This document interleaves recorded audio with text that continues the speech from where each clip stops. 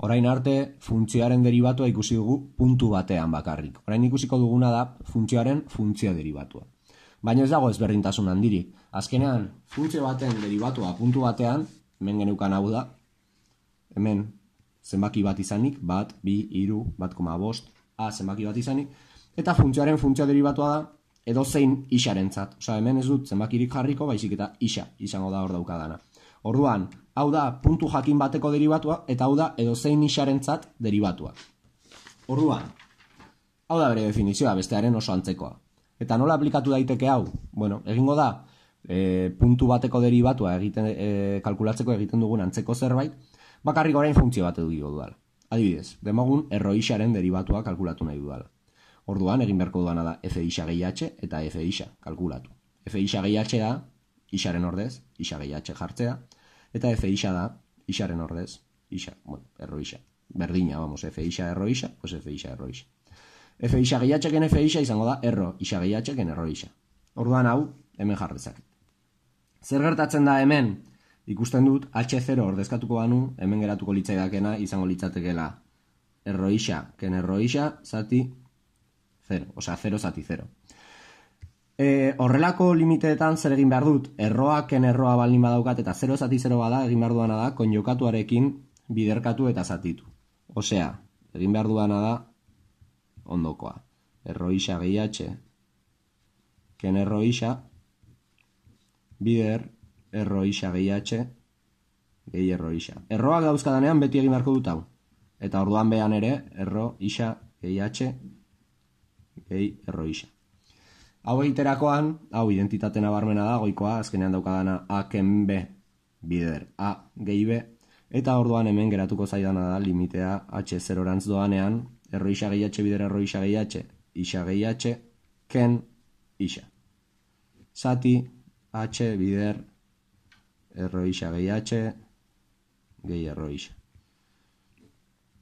Eta orain zer gertatzen da, H zerorekin ordezkatzen badut, bueno, isaken isa, badoa, orduan hauek badoaz. Geratuko litzaidake H zati H, orduan H zati H badoa, eta geratuko litzaidake bat zati erroisa gehi H gehi erroisa. Eta H0 ordezkatzen badut orain, geratuko litzaidake hau dela bat zati erroisa gehi erroisa, edo bat zati bi erroisa. Eta ja, kalkulatu izango nuke erroisaren funtzio derivatua.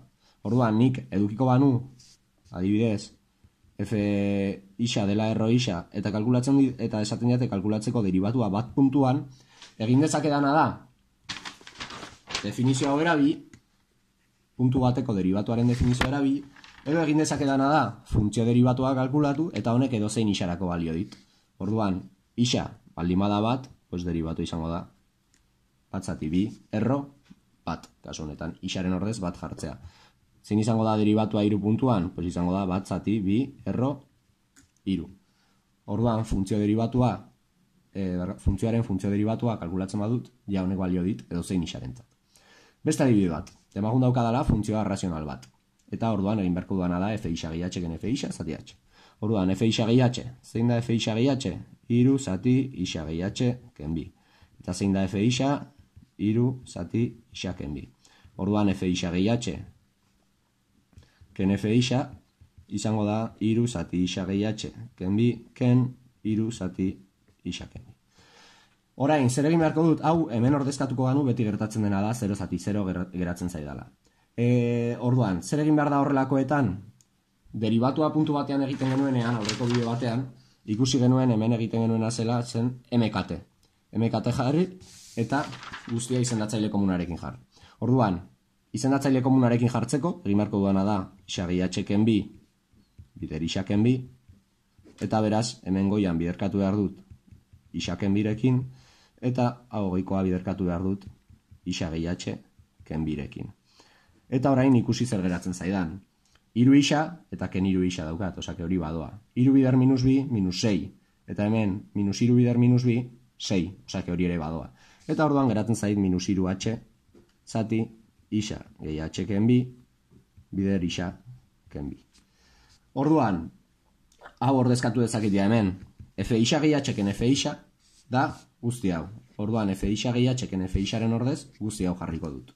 Orduan, geratzen zait limitea, h0 orantz doanean, minus iru h zati isa gehi h ken bi, bider isa ken bi, zati h. E, hau horrela jarri dut, baina printzipioz jartzen ezakete ja ikusten baduzu ez, zuzenean horrela, limitea h0 erantz doanean, minus iru h zati h bider e, isa gehi h bi, bider isa ken bi. Osa, bazkenean, egiten baduzu beti horrelako gauzak dauzkagunean, zatiki bat eta gero beste zatiki bat, egin dezakeguna da, esan nizuena, hemen jartzearena, zatikia, bueno, zati, bestea, eta horrela, hau horrela geratuko zaigu, edo zuzenean ikusten baduzu eia, hau horrela jarraitekela, pues zuzenean jarretzakezu horrela. Orduan, H, H-rekin simplifikatuko da, eta orain egin beharko duana da, H0 ordezkatu. Osa, ikusten duzu, hasieran hemen ez banu hau guztia egingo, osea, horrela ordezkatuko banu, hau ordezkatuko banu hemen 0 zati 0 geratuko litzaiake. Badakigu 0 zati 0an beti e, gauzak simplifikatu behar ditu dela eta horrela normalean 0 zati 0 indeterminazio hori desagertzen zaidala. Orduan hemen ja simplifikatu ditut gauzak eta ikusiko duteat 0 zati 0 indeterminazioa desagertu zaidan edo ez. Orduan, orain 0a ordezkatzen dut ikusteko bea benetan desagertu zaidan edo ez eta orduan h zerorekin ordezkatzen dudanean ikusten dut hau eratzen zaidala minus iru zati isaken bi bider isaken bi edo beste modu batean idatzita minus iru zati isaken bi berbi. Orduan, iru zati isaken biren funtzio derivatua izango litzateke minus iru zati isaken bi berbi. Eta eskatuko balidate funtzio honen derivatua, pues adibidez, bi puntuan zer egin beharko nuke, pues hemen ordezkatu bia kasu honetan zaukatzen zurik, zeren bian funtzioa ez asistitzen. Egin barko nu derivatua iru puntuan, egin barko nuke nahi zango litzateke, pues ordezkatu hemen irua, eta bat eratzen da minus iru. Eskatuko balidate derivatua lau puntuan, mos puntuan, minus, bi punt, eh, minus bat puntuan, berrintzaitze puntutan, egin barko nuke nazen, isaren ordez, ordezkatu eta listo. Orduan, bideo honetan ikusiko duguna izan da, funtzioaren funtzio derivatua da, hau, Definizioa da oso antzekoa puntu bateko derivatuarekin, baina pixka bat ezberdina da. Hemen zenbakien ordez, e, isaren ordez, isa zenbaki bat izan ordez, pues isa izango da. Eta honekin kalkulatuko dut derivatua edo zein isarentzat, edo zein punturentzat.